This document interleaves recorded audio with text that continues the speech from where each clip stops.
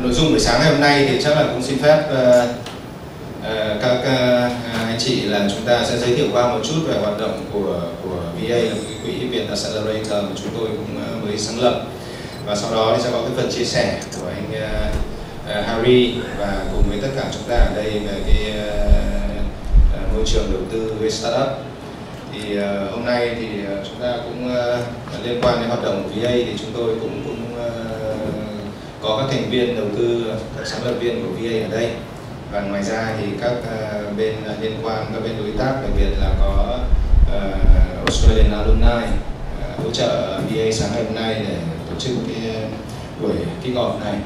Và cũng cảm ơn uh, anh Tùng giám đốc uh, trung tâm uh, khởi nghiệp của trung ương đoàn đã hỗ trợ tạo điều kiện cho VA ờ, về địa điểm.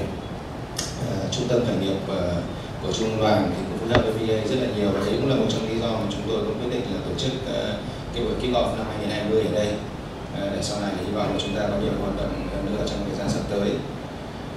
Về VA thì cũng xin giới thiệu nhanh với các anh chị. Chúng tôi cũng gọi là, chúng tôi đặt tên là Việt Accelerator và về hình thức thì là chúng tôi là Ờ, xác định mình là một cái share investment platform có nghĩa là gì? Chúng tôi sẽ cố gắng connect nhiều investor uh, cùng tham gia vào uh, hoạt động của VA để đóng góp. Uh, thứ nhất là đóng góp về uh, tài chính đầu tư cho startup và thứ hai là đóng góp về kiến thức chia sẻ về kinh nghiệm để cho startup uh, phát triển. Và chút nữa thì chúng tôi cũng sẽ giới thiệu uh, sâu hơn một chút về cái, cái hình thức hoạt động của của VA cái slide này thì ờ, chúng tôi làm từ ờ, từ ờ, chắc là phải từ đầu năm ngoái. Nên là có thể cái con số nó không được update lắm. Tuy nhiên thì cũng để cho một cái cái overview chung để cho chúng ta cùng hình dung ra cái thị trường về startup ở Việt Nam ấy. Thì nó cũng có rất là nhiều vấn đề. Thực ra là chúng ta đều dùng từ sôi động trong những cái năm vừa rồi, đúng không? Ạ nhà nhà nói startup, chính phủ cũng nói startup. Ở đâu chúng ta cũng startup. Và nó hình thành đến một cái tinh thần khởi nghiệp của Việt Nam. Và không phải chỉ riêng Việt Nam mà Ờ, từ Việt Nam chúng ta nói đến thế giới thì chúng ta cũng nói rất là nhiều về, về cái tinh thần khởi nghiệp. Tuy nhiên ấy, thì uh, nhìn lại cái, cái, cái sự phát triển của startup ở Việt Nam trong những cái năm vừa rồi thì chúng ta có thể rút ra một số cái điểm chính là như thế này. Có cũng khá nhiều startup thành công và nhiều startup trở nên phát triển trở nên lớn mạnh và chúng ta thu hút được nhiều cái cái, cái nguồn vốn đầu tư tuy nhiên nếu chúng ta phân tích về số lượng chúng ta phân tích về chất lượng của startup thì chúng ta thấy là Việt Nam vẫn còn rất là nhiều vấn đề. Phần lớn các startup ở đây chúng tôi lấy một cái cái, cái, cái thống kê có một cái thống kê nữa mà tối hôm qua chúng tôi tôi phải bỏ đi vì có thể nó hơi bị ờ, hơi lạc hậu một chút rồi. Phần lớn các startup của chúng ta ấy, thì rất là khó khăn để phát triển. Bởi vì là không truy cập được vào ờ, không tiếp cận được nguồn vốn. Đấy là cái vấn đề đầu tiên mà startup nào cũng nghĩ đến đấy là làm thế nào để có tiền để hoạt động phần lớn mọi người là bỏ tiền túi ra vay mượn anh em, bạn bè trong gia đình. Và chúng ta phải hình dung là với 100 người, cái tỷ lệ fail, tỷ lệ success ở đây chúng tôi cũng cũng thử đánh giá một cái nghiên cứu từ năm ngoái thôi, là chắc là phải đến 80 phần trăm là fail. Có nghĩa là startup sẽ thất bại. Thế thế thì bây giờ để hỗ trợ hơn thất bại vì sao thì chúng ta lại phải tìm hiểu rõ cái nguyên nhân. Ở đây thì chúng tôi nghĩ là có rất là nhiều cái cái báo cáo và nhiều cái nghiên cứu về hoạt động của startup rồi thế nhưng mà trong buổi sáng ngày hôm nay thì chắc là chúng ta sẽ không cần mất quá nhiều thời gian để chia sẻ những cái đấy. Một phần thất bại bởi vì là không tiếp cận nguồn vốn, đang làm dở chừng hết tiền. Phần thứ hai đấy là rõ ràng là startup của chúng ta còn quá thiếu kinh nghiệm. Phần lớn là gì? Chúng ta bắt đầu từ startup, bắt đầu từ một cái ý tưởng nào đấy. Thì sau đó là hy vọng là và nghĩ rằng ý tưởng này của mình là là chắc chắn là thành công. Chúng ta nghĩ là chúng ta là duy nhất, nhưng thực ra những ý tưởng đấy thì có thể là trên thế giới nó có lâu rồi hoặc có khi cũng chính ở Việt Nam mà có lâu rồi. Thế nên nhưng mà chúng ta không mang ra được thị trường, không không tiêu thụ được cái sản phẩm, cái dịch vụ của mình. Đó, thì đấy thứ nhất là về về bắt đầu xuất phát từ ý tưởng. Sau đó khi thực hiện ý tưởng đấy, thì bắt đầu nó mới đến cái giai đoạn mà startup không thể lường trước được. Đấy là gì? Cái business model, mô hình kinh doanh của mình hợp lý hay không? Mình định hướng cái sản phẩm, cái dịch vụ của mình có đã hợp lý hay chưa? Cái đối tượng khách hàng nào mình tiếp cận? Tất cả những cái đấy là cái mà startup của Việt Nam chúng ta đang gặp phải. Và ngoài ra nó còn một vấn đề lớn nữa, đây là vấn đề về tuân thủ. Chúng tôi khẳng định hơn 90% startup cũng không hình dung được tuân thủ về ờ, pháp luật ở Việt Nam như thế nào. Một phần đương nhiên là vì họ chưa được đào tạo. Phần còn lại là cái quy định về pháp lý của Việt Nam, về môi trường kinh doanh của Việt Nam.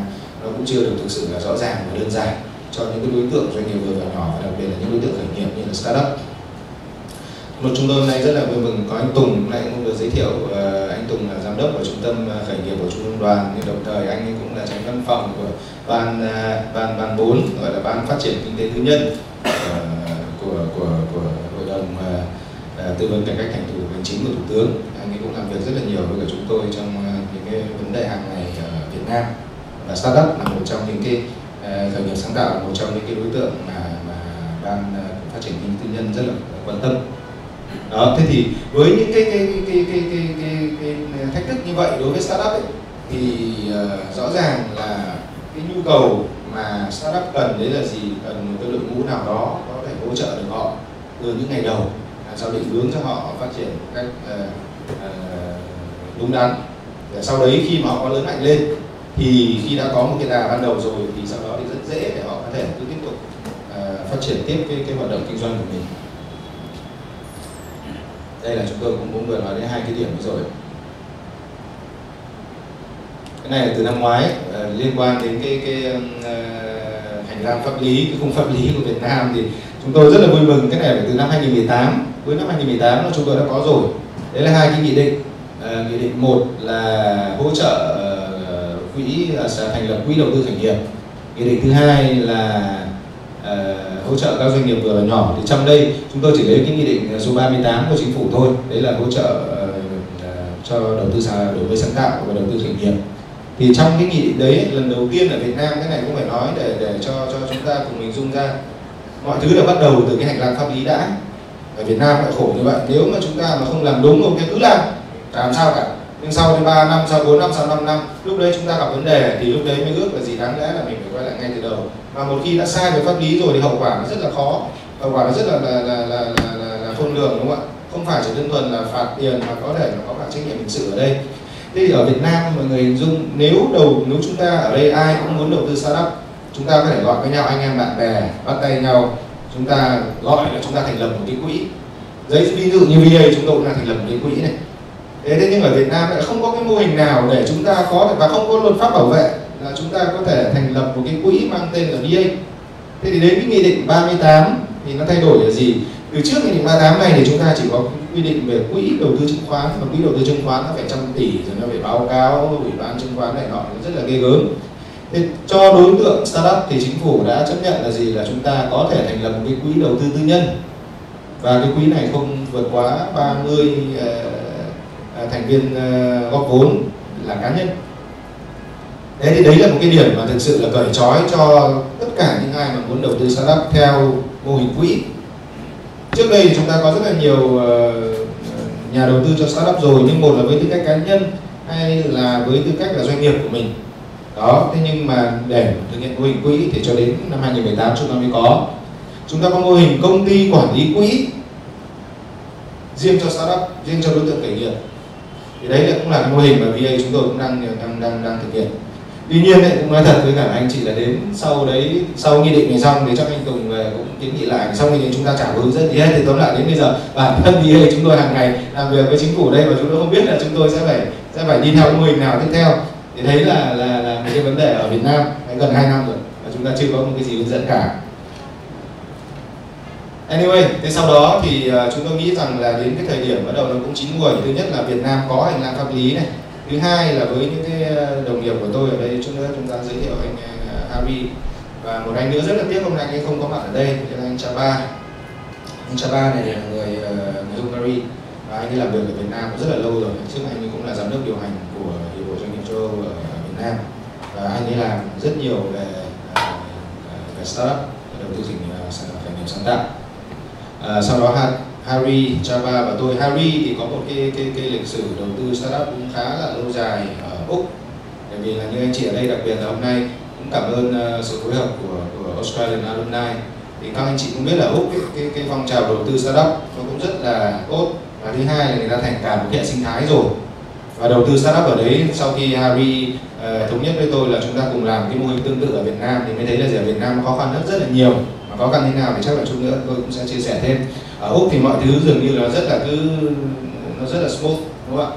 Chúng ta sẽ thành lập một cái quỹ các anh thành lập một cái quỹ 10 người 20 người một người có thể tham gia rất là nhiều quỹ. Thế sau đó là mọi thứ cái cái platform nó có sẵn rồi. À, từ gặp gỡ startup như thế nào từ xe theo dõi pitching như thế nào sau đó là quyết định đầu tư và cái cái cái cái hành lang pháp lý ở đấy để bảo vệ cái cái quyền lợi của nhà đầu tư nó cũng rất là rõ ràng thế khi về đến Việt Nam thì đương nhiên là nó sẽ sẽ khó khăn hơn. Thì chút nữa Harry cũng sẽ chia sẻ kinh nghiệm của mình. À, và sau đó là tôi thì chúng tôi cũng quyết định là thành lập một cái mô hình tương tự như vậy. Để bắt đầu từ ba người thì sau đó thì đến bây giờ chúng tôi cũng có thêm một số thành viên mới như là Hải, Minh. À, cái quan điểm khi mà quyết định đầu tư cho startup của chúng tôi là gì? Chúng tôi gọi là share investment platform. Nhưng mà chúng tôi cũng nhìn nhận lại xem ở Việt Nam chúng tôi đang cần cái gì. Ở Việt Nam thì Ờ, chúng ta có đến bây giờ chúng ta có ba bộ bộ cách đầu tư bộ ờ, khoa học công nghệ bộ ờ, thông tin truyền thông mà không biết bộ nào mới là cái bộ mà thực sự là là là, là chịu trách nhiệm hay là là là cái bộ dẫn dắt chính về đầu tư khởi nghiệp.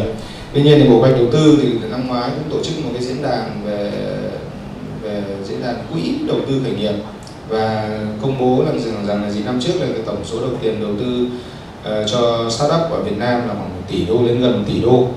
Và năm nay sau cái diễn đàn đấy thì chúng ta thu hút được đâu năm sáu năm sáu trăm triệu đô cho startup.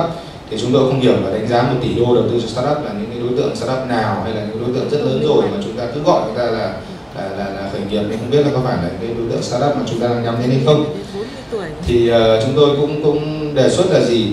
Là nếu nhìn vào Việt Nam bây giờ ấy, thì cái thiếu của startup là những cái tôi đề cập đến ban đầu, thiếu về tiếp cận nguồn vốn, thiếu về kinh nghiệm, thiếu về năng lực quản lý định hình ờ, mô hình kinh doanh.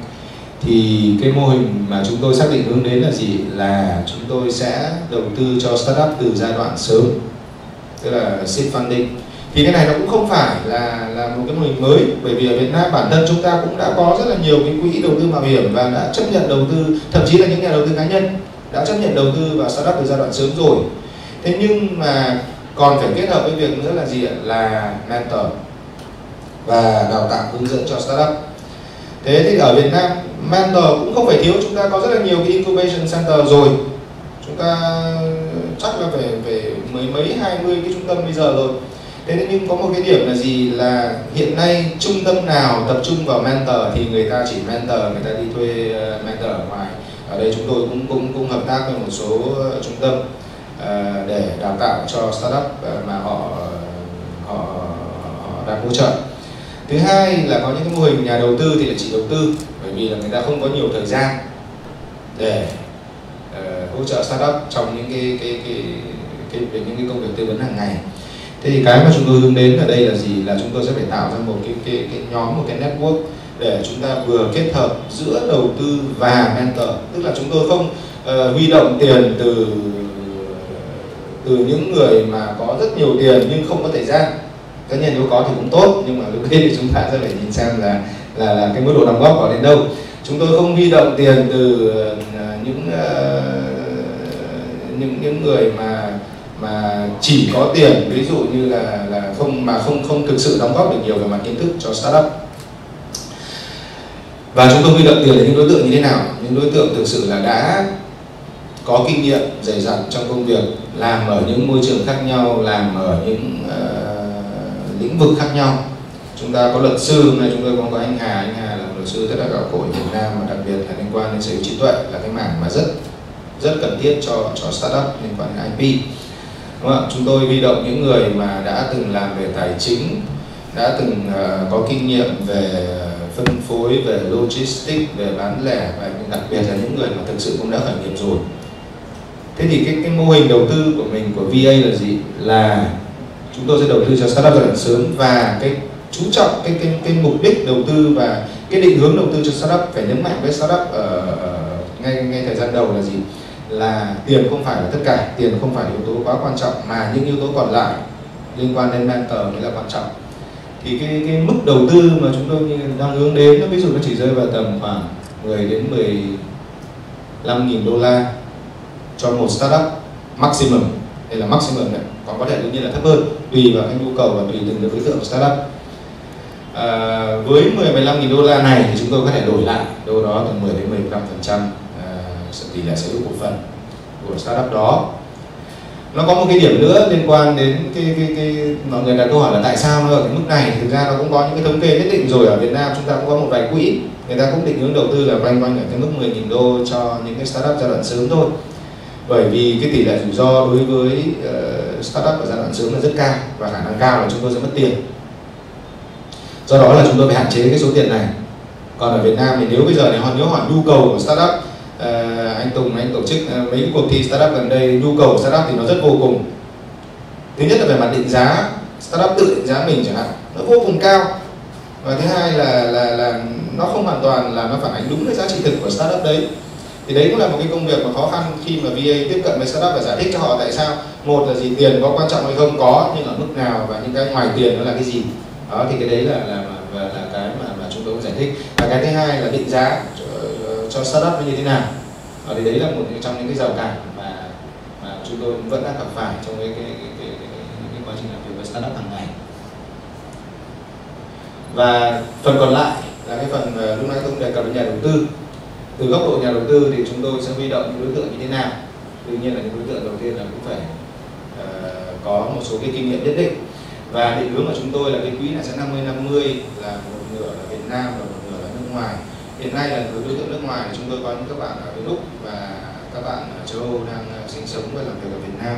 Hôm nay cũng có anh Ivert anh Phước anh Ivert là phó chủ tịch của hiệp hội doanh nghiệp châu Âu cùng ờ, với tôi và chúng tôi cũng cũng cũng cố gắng chúng tôi promote chúng tôi thúc đẩy và, và quảng bá những hoạt động đầu tư của VA với những cộng đồng bạn bè của chúng tôi uh, uh, châu Âu đang đang hoạt động Việt Nam. Và chúng tôi tôi cũng là phó chủ tịch của hiệp hội doanh nghiệp ở châu Âu cùng với Ivert ví dụ như chúng tôi cũng chia sẻ uh, các doanh nghiệp châu Âu ở Việt Nam có những cái doanh nghiệp rất là lớn.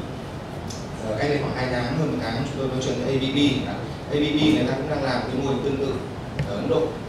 Có nghĩa là gì? Người ta đầu tư cho những startup trong lĩnh vực nông nghiệp nhưng đầu tư với một số tiền rất nhỏ. Nhưng ngược lại người ta cho cái gì? Người ta cho công nghệ người ta cho nền tảng người ta cho cái platform những cái mà ABB đã có và startup từ và dựa vào đấy tận dụng những cái công nghệ đấy để phát triển cái mô hình sản phẩm của mình thì đấy là những cái mà chúng tôi sẽ hướng đến và sẽ cố gắng để để, để, để quy tụ thêm những cái nhà đầu tư giống như vậy ở Việt Nam.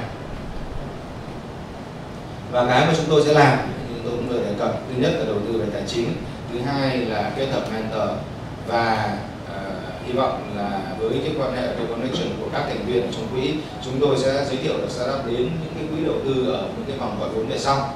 Cả quỹ đầu tư trong nước và quỹ đầu tư nước ngoài đó là cái cái cái hoạt động của VA hiện nay thì uh, chúng tôi cũng sau 6 tháng vừa rồi chúng tôi cũng đã chạy thử cái mô hình thử nghiệm của VA và chúng tôi cho rằng là nó vẫn còn tiềm năng. 6 tháng vừa rồi cũng là cái 6 tháng mà chắc là startup uh, sau một vài cái sự kiện lớn của startup trên toàn cầu WeWork hay là mọi người nói nhiều cả về Uber nữa thì cái cái cái không khí uh, của startup là nó cũng hơi bị trùng xuống một chút. Nhưng tôi nghĩ là đấy là cái sự trùng rất là cần thiết bởi vì đến thời điểm này thì thứ nhất là có thời gian để chúng ta xem là chúng ta làm được gì cho startup và cũng để cho startup xem được là họ nên tự đánh giá mình ở mức độ như thế nào. Đó thì hai bên lúc đấy mình sẽ gặp nhau dễ hơn. Còn mô hình hoạt động của VA thì uh, chúng tôi chia ra làm hai uh, nhóm thành viên. Nhóm thứ nhất là cái nhóm mà có cái cái cái sự kết nối với nhau cao hơn. Thì chúng tôi cũng thống nhất là những người sẽ đóng góp tạo tạo thành cái quỹ một số tiền nhất định tạo thành cái quỹ và từ cái quỹ đấy chúng tôi sẽ sẽ sẽ sẽ đầu tư cho các startup. Nhóm thứ hai là những cái nhóm mà sẽ tận dụng cái database của VA chúng tôi sẽ thu thập những cái database của startup uh, thông tin về startup về ngành nghề về uh, về hoạt động. Và chúng tôi sẽ cố gắng cập nhật nhiều nhất có thể. Và sau đó thì dựa trên những cái cái buổi pitching chúng tôi sẽ tổ chức những cái buổi pitching cho các startup và các member các thành viên của VA bất kể chúng tôi gọi là principal member hay là limited member thì limited member là những đối tượng mà sẽ không không phải đóng tiền và sẽ cùng đánh giá startup đấy cùng đánh giá pitching và sau đó có quyết định đầu tư thì lúc đấy chúng ta sẽ cùng biểu quyết và chúng ta sẽ đầu tư cùng với nhau. Thì đó là cái cách thức hoạt động của của VN cho đến thời điểm này. Và chúng tôi cũng đang trong cái quá trình à, thành lập doanh nghiệp à, để để, để, để, để thực hiện hóa cái việc à, mô hình công ty quản lý quỹ cho cái cái quỹ VN đây là cái điểm mà tôi đưa vào đây nhưng chắc là không liên quan lắm bởi vì cái này là chúng tôi cũng luôn kiến nghị chính phủ. Tất nhiên không kiến nghị từ VA nhưng kiến nghị từ những cái cái cái cái cái cái, cái, kênh uh, có sẵn của chúng tôi thông qua hiệp hội doanh nghiệp châu Âu. Tôi cũng đề cập rất là nhiều lần. Uh, thông qua chỗ anh Tùng ban uh, ờ, phát triển kinh tế tư nhân chúng tôi cũng đề cập nhiều lần với chính phủ. Thứ nhất là gì? Là hiện nay bởi vì VA cái mô hình hoạt động chúng tôi khác so với những quỹ khác mà chúng tôi kết hợp giữa cả nhà đầu tư nước ngoài và nhà đầu tư trong nước. Nên là cái quy định về đăng ký đầu tư nước ngoài đối với startup nó phải được trói. Hiện nay là các anh chị không biết là có để ý không nhưng chỉ cần một nhà đầu tư nước ngoài dù cá nhân hay dù tổ chức đầu tư một phần trăm hay là không phẩy một phần trăm vào một công ty ở Việt Nam cũng phải uh, đăng ký đầu tư. Mà đăng ký đầu tư đi tiền đi thuê luật sư thì cũng có khi bằng luôn cái tiền đầu tư cho startup rồi. Thì đấy là cái điểm thứ nhất.